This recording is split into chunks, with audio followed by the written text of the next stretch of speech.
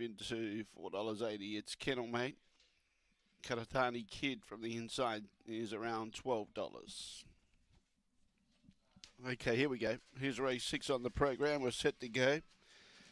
XP 3020 Grade 5 Series heat away. Beginning the best out in position four, there was Dadellis. Uh, it's out in front, but here comes Bidgie Boy. The late male moves up on the outside. Got a good race on our hands here. Dadellis will be pretty hard to run past. Right behind them is Scott Ryder. So the favourites are one, two, three. Long Gully Fred behind those. Miss Fab Focus, well back married twice. Uh, big prediction. And Karatani Kid on the outside, though. Bidgie Boy too strong. Too strong, Bidgie Boy gets home to beat the Dallas. Third was Scott Ryder. Fourth placing was Long Gully Fred. Uh, then in turn behind those, we had uh, Miss Fab Focus, Big Prediction, Karatani Kid at the tail end of the field. Married twice and amongst that as well. 23.06 at 6.42 and 8.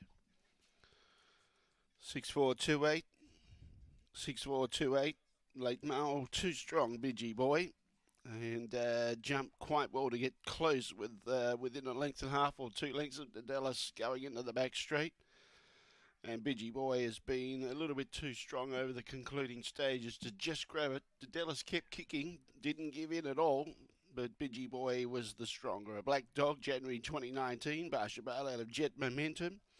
Raced by the Integrity Greyhound Syndications, managed by T. Cogger and Lauren Harris, the winning trainer. And neck by two lengths uh, neck by two, the margins, 23.06, so it's a good gallop.